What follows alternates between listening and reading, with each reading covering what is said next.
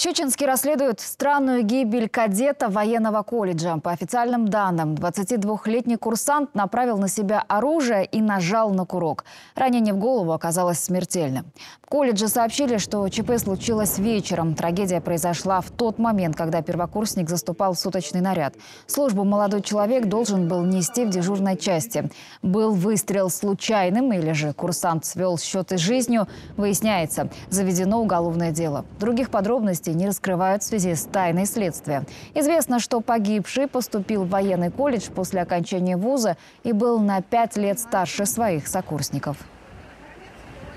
Мы все делаем для того, чтобы выявить и участвуем в следствии для того, чтобы это было объективно и действительно кто-то, если в этом виноват, был понес настоящее справедливое наказание. Ну, это автомат простой. У нас на вооружении только автомат.